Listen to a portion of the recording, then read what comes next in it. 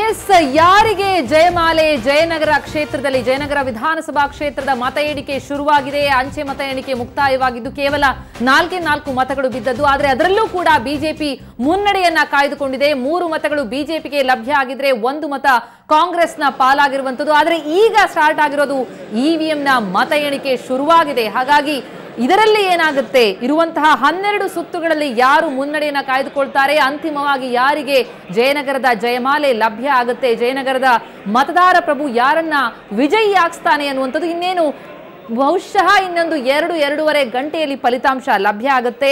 ಮತದಾನ ಆಗಿದ್ದೇ ಐವತ್ತೈದು ಪರ್ಸೆಂಟ್. ಜಯನಗರ ವಿಧಾನಸಭಾ ಕ್ಷೇತ್ರ ಅಂತಂದ್ರೆ ಅದು ಪ್ರಗತಿಪರರ ಕ್ಷೇತ್ರ, ಶಿಕ್ಷಿತರ ಕ್ಷೇತ್ರ ಅಂತಲೇ ಕರೆದುಕೊಳ್ಳುವಂಥದ್ದು. ಆದರೂ ಅಲ್ಲೂ ಆಗಿದ್ದು ಮತದಾನ ಐವತ್ತೈದು ಪರ್ಸೆಂಟ್ ಮಾತ್ರ. ಹೀಗಿದ್ದೂ ಕೂಡ ಮೈತ್ರಿ ಸರ್ಕಾರಕ್ಕೆ ಜಯಮಾಲೆ ಲಭ್ಯ ಆಗುತ್ತಾ? ಅಥವಾ ಬಿಜೆಪಿಯ ಭದ್ರಕೋಟೆಯಾಗಿರುವಂತಹ ಜಯನಗರವನ್ನ ಭದ್ರಗೊಳಿಸಿಕೊಳ್ಳಲು ಬಿಜೆಪಿ ಸಫಲವಾಗುತ್ತಾ? ಇಲ್ಲವೇ?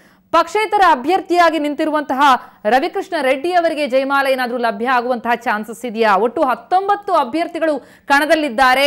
ಬಿಜೆಪಿ ಅಭ್ಯರ್ಥಿಯಾಗಿ ಪ್ರಹ್ಲಾದ್ ಬಾಬು ವಿಜಯ್ ಕುಮಾರ್ ಅವರ ಸಹೋದರ ಆಗಿರುವಂತಹ ಪ್ರಹ್ಲಾದ್ ಬಾಬು ಅವರು ನಿಂತಿರುವಂತದ್ದು ಮೃತ ವಿಜಯ್ ಕುಮಾರ್ ಸಹೋದರ ಪ್ರಹ್ಲಾದ್ ಬಾಬು. ಕಣದಲ್ಲಿದ್ದಾಗಲೇ ವಿಜಯ್ ಕುಮಾರ್ ಅಕಾಲಿಕವಾಗಿ ನಿಧನರಾಗಿದ್ರು. ಹೀಗಾಗಿ ಅನುಕಂಪದ ಅಲೆ ಏನಾದರೂ ಲಭ್ಯ ಆಗಬಹುದಾ ವಿಜಯ್ ಕುಮಾರ್ ಮರಣ ನಂತರ ಪ್ರಹ್ಲಾದ್ಗೆ ಬಿಜೆಪಿ ಮಣೆಯನ್ನ ಹಾಕ್ತು. ಹಾಗಾಗಿ ಪ್ರಹ್ಲಾದ್ ಅವರು ಪ್ರಥಮ ಬಾರಿಗೆ ಕಂಟೆಸ್ಟ್ ಮಾಡಿದ್ರು. ಇನ್ನು ಕಾಂಗ್ರೆಸ್ ಅಭ್ಯರ್ಥಿಯ ವಿಚಾರಕ್ಕೆ ಬರೋದಾದ್ರೆ, ಕಾಂಗ್ರೆಸ್ನ ಅಭ್ಯರ್ಥಿ ಸೌಮ್ಯ ರೆಡ್ಡಿ ಇವರು ಕೂಡ ಬಹಳ ಪ್ರಭಾವಿ ಆಗ್ತಾರೆ. ಯಾಕಂದ್ರೆ ರಾಮಲಿಂಗಾರೆಡ್ಡಿ, ಮಾಜಿ ಸಚಿವ ರಾಮಲಿಂಗಾರೆಡ್ಡಿ ಅವರ ಪುತ್ರಿ ಸೌಮ್ಯ ರೆಡ್ಡಿ, ಕಾಂಗ್ರೆಸ್ ಜೆಡಿಎಸ್ ಮೈತ್ರಿ ಸರ್ಕಾರದ ಬೆಂಬಲ ಇದೆ ಸೌಮ್ಯ ರೆಡ್ಡಿ ಅವರಿಗೆ. ಮೊದಲು ಜೆಡಿಎಸ್ ಕಣದಲ್ಲಿತ್ತು, ಆದರೆ ನಂತರ ಮೈತ್ರಿಯ ಹಿನ್ನೆಲೆಯಲ್ಲಿ ಜೆಡಿಎಸ್ನ ಅಭ್ಯರ್ಥಿ ಕಾಳೇಗೌಡ ಕಣದಿಂದ ಹಿಂಪಡೆದ್ರು. ಹಾಗಾಗಿ ಕಾಂಗ್ರೆಸ್ ಅಭ್ಯರ್ಥಿಗೆ ಮೈತ್ರಿ ಸರ್ಕಾರ ಬೆಂಬಲವನ್ನ ನೀಡಿರುವಂತದ್ದು.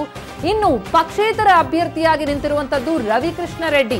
ಇವರು ಕೂಡ ಭ್ರಷ್ಟಾಚಾರದ ವಿರುದ್ಧವಾಗಿ ಬಹಳಷ್ಟು ಮಾತುಗಳನ್ನಾಡಿದ್ದಾರೆ ಎರಡ್ ಸಾವಿರದ ಎಂಟರಲ್ಲೂ ಕೂಡ ಜಯನಗರ ವಿಧಾನಸಭಾ ಕ್ಷೇತ್ರದಿಂದ ಪಕ್ಷೇತರ ಅಭ್ಯರ್ಥಿಯಾಗಿಯೇ ಸ್ಪರ್ಧೆಯನ್ನ ಮಾಡಿದ್ರು. ಈ ಬಾರಿ ಕೂಡ ಪಕ್ಷೇತರ ಅಭ್ಯರ್ಥಿಯಾಗಿ ನಿಂತಿದ್ದಾರೆ. ಎರಡ್ ಸಾವಿರದ ಹದಿಮೂರರಲ್ಲಿ ಬಿಟಿಎಂ ಲೇಔಟ್ ವಿಧಾನಸಭಾ ಕ್ಷೇತ್ರದಿಂದ ಲೋಕಸತ್ತಾ ಪಕ್ಷದಿಂದ ಅವರು ಸ್ಪರ್ಧಿಸಿದ್ರು ರವಿಕೃಷ್ಣ ರೆಡ್ಡಿ.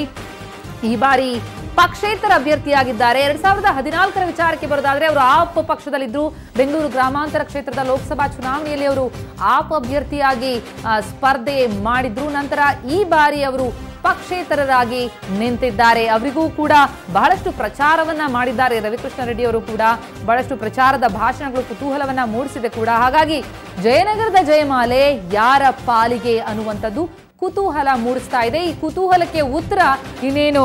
ಎರಡು ಮೂರು ಗಂಟೆಗಳಲ್ಲಿ ಲಭ್ಯವಾಗುತ್ತೆ.